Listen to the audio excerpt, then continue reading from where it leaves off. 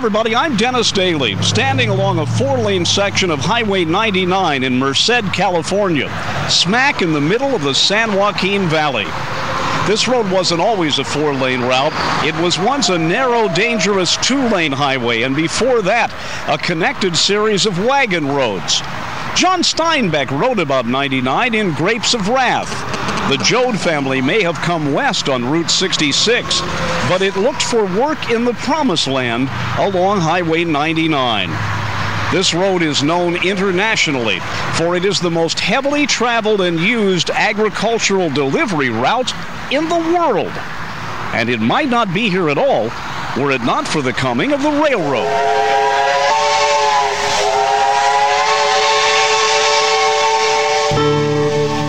As the nation was getting back together after the Civil War, the Southern Pacific Railroad began laying track down the center of the San Joaquin Valley.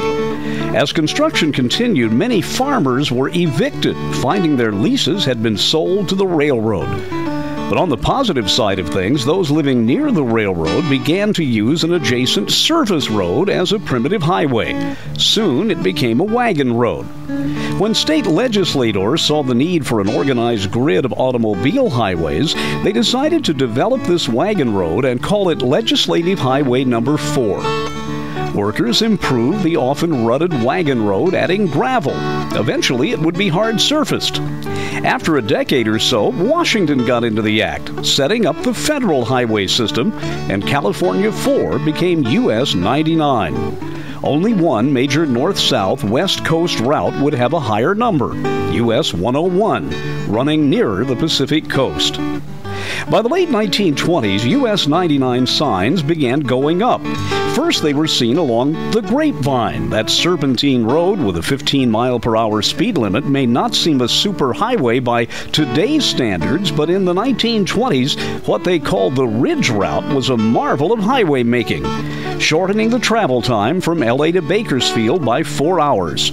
Stretches of that original highway still remain.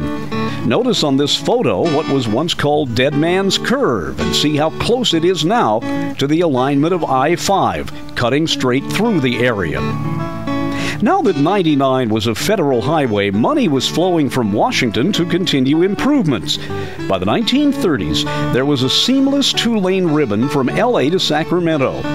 As traffic increased, some sections were three laned. The idea was to provide a bi-directional passing lane down the middle.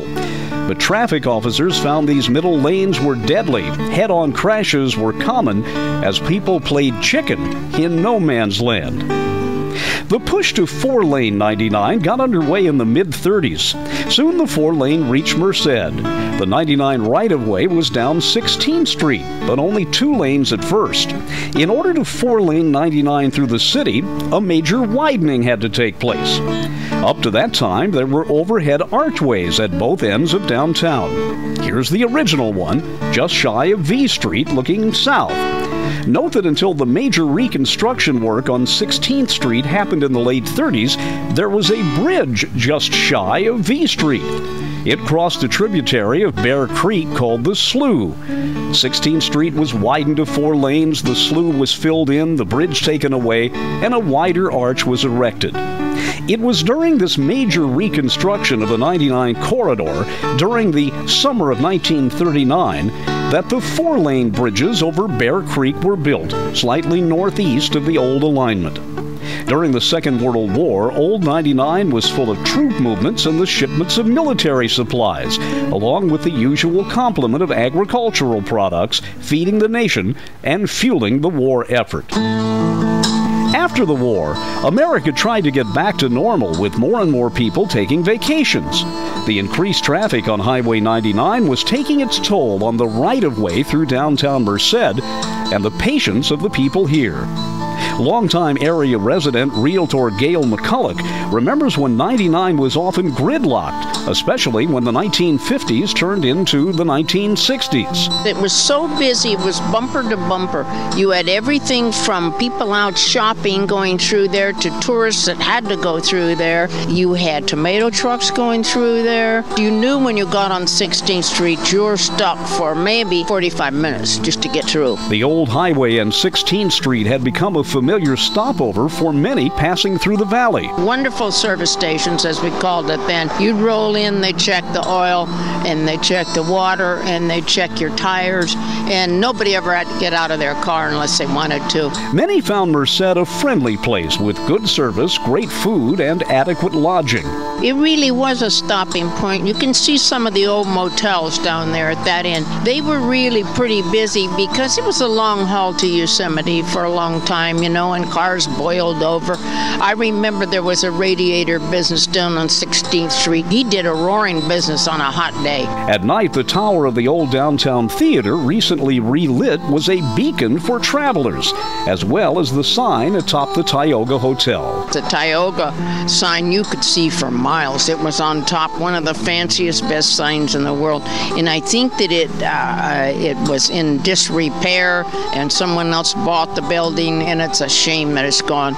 Some modernization of 99 had begun in the early 50s, but it would not be until 1963 that the road was four laned and elevated through Merced, taking traffic off 16th Street. Before construction began, the question was where to put the block wide corridor. Put it too close to 16th, and you would have required major movement of electrical lines and equipment. Moving it between 12th and 13th would have meant razing a church and a busy school. The decision was made to use the corridor between 13th and 14th. Not much there, but aging housing, some warehouses, and the remnants of Merced's Chinatown.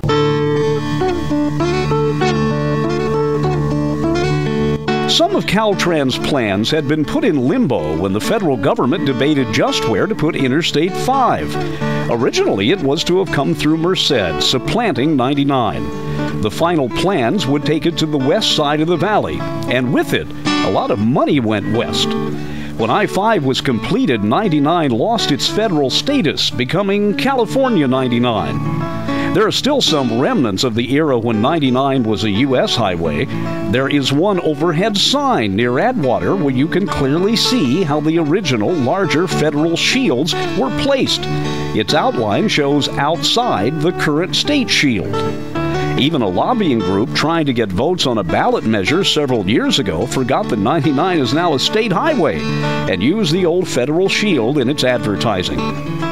Even some highway markers in Merced still bear the old federal highway long haul destinations.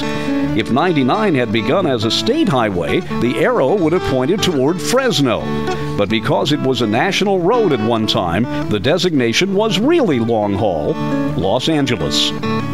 But changes in the road in Merced County have been slow in coming. While much of California 99 through the valley has been totally modernized and some of it six laned, it's only been the past few years that the rural bottleneck on 99 has been eased here in the county, with the elimination of median crossovers and the addition of clover leaves. Still, this part of the valley is the final section of 99 awaiting final upgrading. And if 99 ever reaches interstate standards and is made into a true interstate, what will it be called? Interstate 99 is already taken, and according to the national numbering system, it cannot be used on the West Coast. Most say that US 99, which became California 99, will eventually become Interstate 9.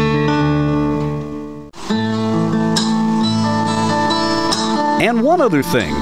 In the parking lot of a local radio station, where the CHP used to have an office, is a great example of what two lane Highway 99 looked like before World War II. It was never used as 99, but built to highway standards as a driveway for the Highway Patrol.